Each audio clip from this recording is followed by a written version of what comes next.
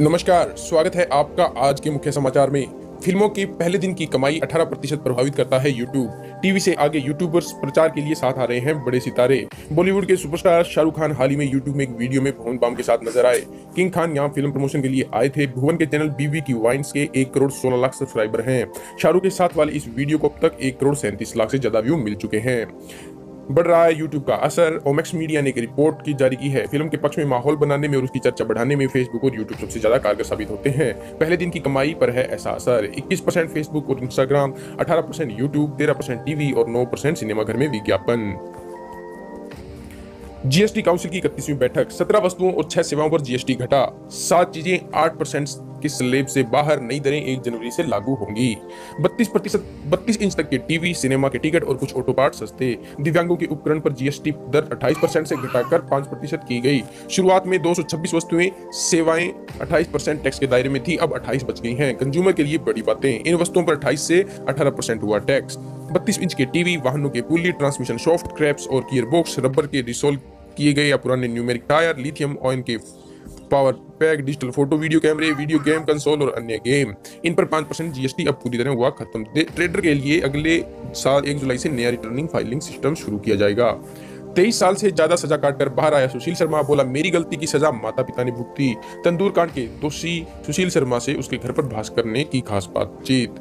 Jail में रहकर समझा कि लोगों को गुस्से को कंट्रोल में रखने की ज़रूरत। मुझसे तो एक क्षण में गलती हुई, लेकिन मेरे माता पिता ने उसे ज़िंदगी भर भुगता। तेईस साल पहले की घटना को लेकर सोचता हूँ कि लोग किस तरह एक कदम से आए गुस्से का शिकार होकर अपराधी बन जाते हैं। 26 जनवरी को 60 साल के हो जाएँगे सुशील। अगले साल 26 जनवरी को सुशील 60 का हो जाएगा। अपनी योजनाओं को लेकर सुशील ने बताया, अब वह दो विषयों पर विशेष रूप से काम करेगा। पहला रोड रेज और दूसरा पति पत्नी के संबंधों पर। जेल में रोड रोज पर नोट्स भी बनाए।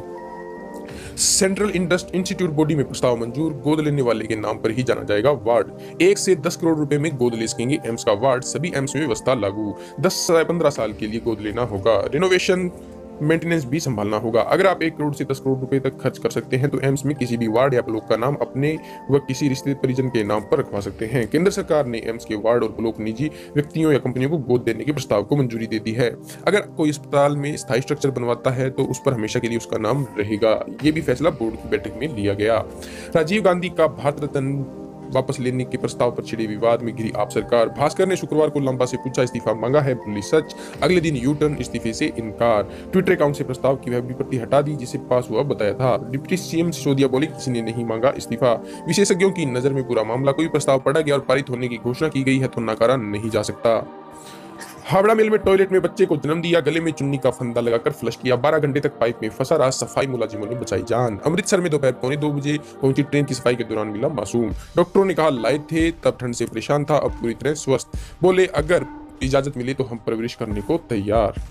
एशिया की पहली तांबे की खदान में छप्पन साल में बन गई तीन किलोमीटर लंबी नदी। इसमें सोना, चांदी समेत कई धातुएँ हैं। विशेषज्ञों का दावा, मिट्टी बिकने से 200 करोड़ का फ़ायदा होगा। राजस्थान के झुंझुनू के खेतर स्थित एशिया की पहली और छप्पन साल पुरानी भूमिगत तांबे की खदान प्रसिद्ध है। अब यहाँ पहाड़ियों के बीच मौजूद खदान में सोने, चांदी और अन्य बेशकीमती धातुओं की नदी बन गई है। स्थानीय लोगों ने बताया कि नदी के बारे में बेहद कम लोगों को ही पता है क्योंकि छप्पन साल से धीरे धीरे विकसित हुई है। चीन की कंपनी ने जाँच कर बताया धातुओं के बारे में। खेतरी कोपर कॉम्प्लेक्स के अधिकारियों ने दो साल पहले एक अपशिष्ट की जाँच चीन की कंपनी से करवाई। इससे पता चला कि नदी में कई कीमती धातुएँ शामिल हैं। खदान में सबसे ज़्यादा तिहत्तर प्रतिशत सिलिका मौजूद है। जलवायु चेतावनी को ट्रंप ने नकारा। नेशनल क्लाइमेट असेसमेंट रिपोर्ट को मानने से किया इनकार। अमेरिकी राष्ट्रपति डोनाल्ड ट्रंप ने 21 नवंबर को ट्वीट किया कि ग्लोबल वार्मिंग वार्मिंग का क्या हुआ?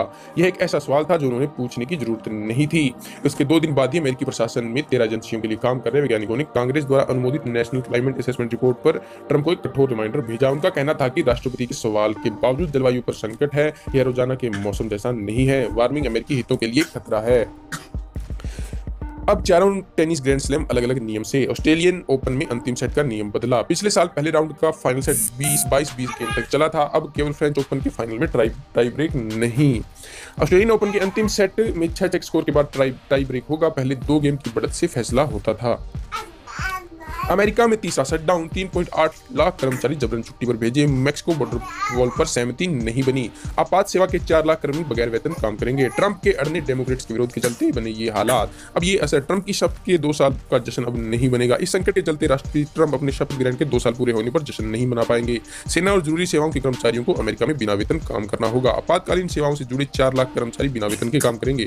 नाशा के अधिकांश कर्मचारी घर भेज दिए जाएँगे। गृह सुरक्षा, न्याय, कृषि और कृषि विभाग के कार्यालय खुले रहेंगे। स्टाफ को वेतन नहीं देंगे। राष्ट्रीय उद्यान खुले रहेंगे, लेकिन ज़्यादातर पार्क में काम करने वाले कर्मचारी घर पर रहेंगे। पहली बार साल में तीन शटडाउन अमेरिका में बयालीस साल में पहली बार किसी एक साल में तीसरी बार शटडाउन की स्थिति बनी है। इस साल में 20 से 22 जनवरी और नौ फरवरी को छह घंटे का शटडाउन हुआ था। दोनों बार मुद्दा इमिग्रेशन नियम थे। शटडाउन यानी सरकार तंगहाल फ्रांस में लगातार छठे शनिवार येलो वेस्ट प्रदर्शन, गुस्साए लोग फ्यूल और टैक्स रेट कम करा चुके हैं। अब राष्ट्रपति मैक्रो के इस्तीफे की मांग पर अड़े।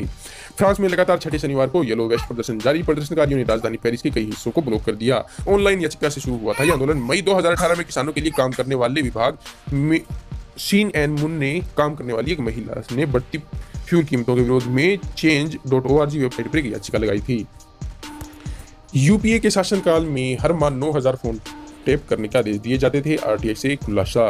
कांग्रेस नीति यूपीए सरकार के कार्यकाल में हर माह करीब 9000 फ़ोन कॉल टेप होते थे और ईमेल इंटरसेप्ट किए जाते थे। तत्कालीन प्रधानमंत्री मनमोहन सिंह के कार्यकाल के दौरान एक आरटीआई में मांगी गई जानकारी में गृह मंत्रालय ने इस संबंध में जानकारी दी थी। गृह मंत्रालय ने माना था कि केंद्र सरकार फ़ोन कॉल इंटरसेप्शन के लिए हर महीने औसतन पिछहत्तर से नौ हज़ार आदेश जारी करती थी। औसतन तीन सौ से पाँच ईमेल इंटरसेप्ट होते थे।